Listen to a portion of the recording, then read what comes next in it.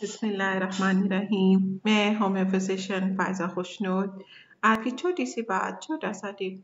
Homeopathy में एक homeo ना सिर्फ़ पैथोलॉजी को मद्देनजर रखता है, बल्कि पेशेंट की चाल ढाल बोल चाल बात करने का तरीका हती कि उसकी ज़ुबान को भी जेर गौर रखता है और एक कामयाब होम्यो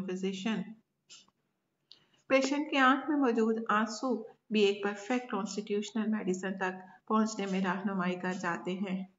जिस तरह के नेट्रा म्योर अपने आँसू, अपने आँखों में ही खुश कर लेता है, जबकि पल्साटीला अपने प्यारे को देखकर आँसू फ़ौरन बहा देता है, लेकिन सिपिया अपने आँसू रोक के रखती है। जैसे ही तनहाई मिलती है, अकेला होता है, अपने बेडरूम वॉशरूम में आंसुओं का सैलाब बहा देती है। रोता तो कैमोमिला भी है, लेकिन आंसुओं के बगैर इसकी ज़िंदा मिसाल आप बच्चे को रोते हुआ देखें। लेकिन कैम्फर में कुत हयात की कमी की वजह से आँखें बंजर हो जाती हैं, उसकी आँखों में कोई आँसू नहीं होता। आंसुओं की झड़ी।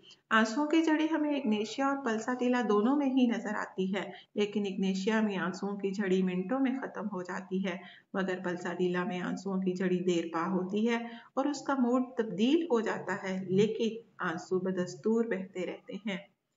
नेट्रोम्योर को अगर एक जुमले में बयान किया जाए तो उस पर एक जुमला बहुत फिट आता है कि हँसते हँसते आँखों से आँसू निकल पड़े।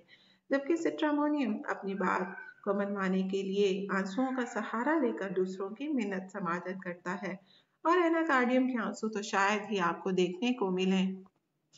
आँसू, अगर आँख में रहे तो नेट्रोम्योर अगर गाल तकाएँ तो पल्सा ढीला।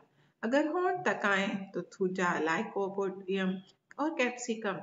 अगर सीने पर गिरे तो इग्नेशिया अगर तकिया भिगो दें तो नेट्रोम्योर और अगर बारिश की तरह बरसे तो सीपिया, और अगर रोने के साथ बिल्कुल भी आँसू ना हो तो कैमोमिला।